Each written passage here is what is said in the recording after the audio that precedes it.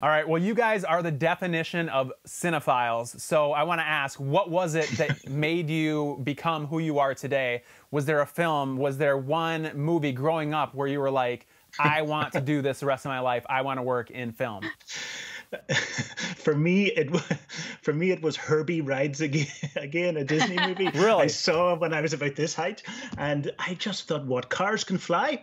And I could not believe it. I was sitting in Belfast, which was not the cinematic center of the universe in Ireland, and I thought, "Wow, I need to get close to that."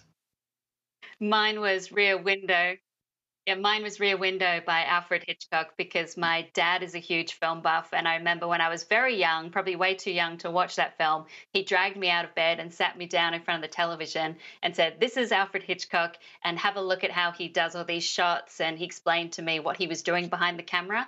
And at such an early age, it started to engender the idea that there was someone creating films. I was fascinated by that.